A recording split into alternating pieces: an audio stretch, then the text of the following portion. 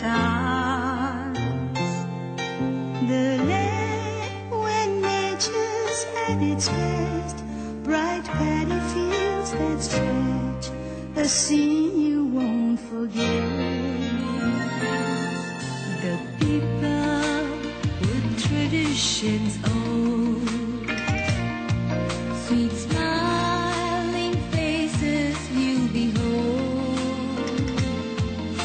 Whoa.